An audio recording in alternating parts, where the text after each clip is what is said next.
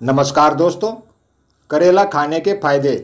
दोस्तों, करेला भले ही स्वाद में कड़वा होता है, लेकिन इसके फ़ायदे ज़बरदस्त हैं। इसकी सब्ज़ी को भले ही बहुत से लोग पसंद नहीं करते हैं, लेकिन इसे खाने से शरीर कई बीमारियों से बच सकता है। करेला विटामिन मिनरल्स और फाइबर का अच्छा सोर्स है। डायबिटीज़ मरीजों के लिए दवा से कम नहीं है।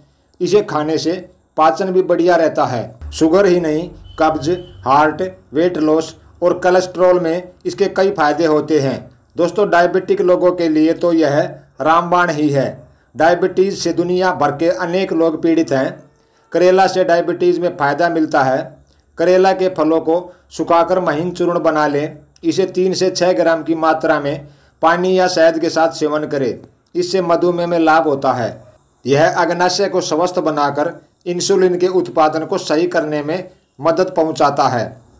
या ताज़े करेले के रस में अनेक पोषक तत्व होते हैं। इसकी 10 से 15 मिलीलीटर मात्रा पीने से भी मधुमेह में बहुत लाभ होता है।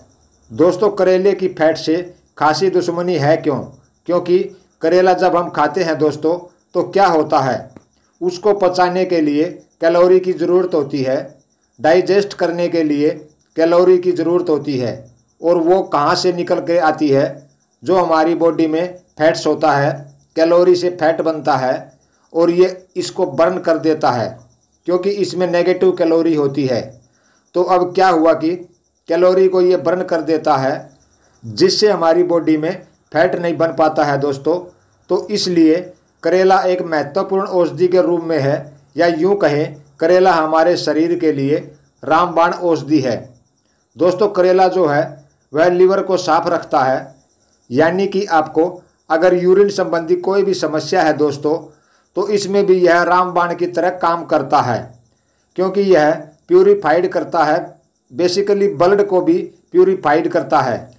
हमारा ब्लड जो है, वह अगर सही है, बॉडी में जिस जिस चीज़ की ज़रूरत होती है, सही रहने के लिए वह सारी चीज़ों की भरपाई होती है, क्योंकि ब्लड हमारे पूरे शरीर में सर्कुलेट करता रहता है, और उसी की बदौलत हमारा पूरा शरीर जो है वह संतुलित रहता है। और ब्लड में अगर सारी चीज़ों, यानी कि जो जो चीज़ें चाहिए होती हैं, उनकी मात्रा सही रहे, संतुलित रहे तो हमारा शरीर स्वस्थ रहता है।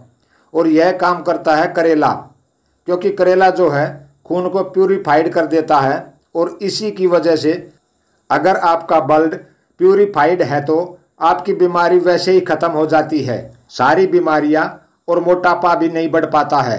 इसके अलावा करेला में मौजूद पोषक तत्व खूनी बवासीर में भी लाभ पहुंचाता है। खूनी बवासीर वाले लोग 20 से 30 मिलीलीटर करेले के काढ़े में चीनी मिला लें। इसे सुबह शाम पिए, इससे खूनी बवासीर में लाभ होता है। दोस्तों, मासिक धर्म के विकार में भी करेले का उपयोग फ़ायदेमंद हो सकता है। 10 से 15 मिलीलीटर करेला के पत्ते के रस में एक ग्राम सौंठ 500 मिलीग्राम काली मिर्च और 500 मिलीग्राम पीपल का चूर्ण मिला लें। इसे दिन में तीन बार पिलाने से मासिक धर्म विकारों में लाभ होता है। इसके अलावा गठिया या जोड़ों के दर्द में करेले की सब्ज़ी खाने और दर्द वाली जगह पर करेले की पत्तों के रस से मालिश करने से आराम मिलता है। करेले तथा तिल के तेल को बराबर मात्रा में लेकर प्रयोग करने से वात रोगों को आराम मिलता है।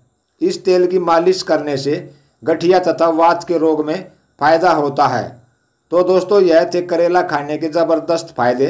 दोस्तों, वीडियो देखने के लिए और अपना कीमती समय देने के लिए आपका बहुत बहुत धन्यवाद।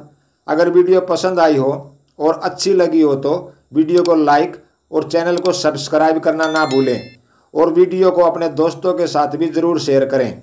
मिलते हैं अगली वीडियो में एक और नई जानकारी के साथ। तब तक के लिए नमस्कार, धन्यवाद।